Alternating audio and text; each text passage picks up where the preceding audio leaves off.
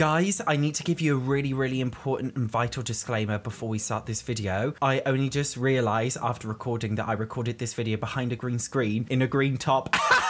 So for the entirety of this video, I am just a floating head. Enjoy! Have you ever wondered what I would look like completely naked? Well, here you are. Here is the official Satch on Sims. Although I have my old red hair, I should probably change it to my blonde forward slash gingery hair. This is what I look like naked. Yes, that is right. My body is this hench in real life and my booty is big. Do you not believe me? Well, that sounds like a you problem. The first, most obvious one that we've got to go over is the body hair. Now, ah. I was actually a little bit underwhelmed. I'm not going to like, let me put it in black so you can see it really strong. You can do it in any color, by the way. Do you want pink pubes? Well, now you can have them, but just in black. As you can uh-huh. see, the arm hair just goes like at the lower arms. We then got the torso hair. We've got two options. We've got a very, very little bit of torso hair, and then we have a little bit more torso hair, but we don't have torso hair all over because some people do. Like I, I, no, I was about to hmm. lift my top up, but I'm not doing it on YouTube. I'm not doing it. Maybe I should save that one for the OnlyFans. Anyway, I just feel like they could have done it with a bit more hair, but I guess it's all right. We then got some back hair. This is like a literal carpet. We then got the leg hair. There's only one swatch for this. There's not a light and a heavy option. It's just like one option. I actually wish there was like a couple more. I know I sound really ungrateful because I always complain. I actually just assumed that there would have been a little bit more body hair for the base game, especially seeing that, you know, it's just like lines. Hmm. Like, do you know what I mean? You could make a PNG and paint and just draw lines. Do you know what I mean? I'm sure some CC creator is going to make some more anyway for those who are on PC. But yeah, it's a nice update. Unfortunately, body hair hmm. growth is not in the base game. If you want body hair growth, you actually have to have the Sims 4 High School Years pack. I don't know what body hair growth has actually got to do with high school years. As far as I'm aware, people of all ages grow body hair, so I'm not sure what's going on there. Capitalism, that is what is going on there. In terms of women, oh my god, this is Satch on Sims dressed as a woman. Oh my god, this is what I would look like if I was a woman.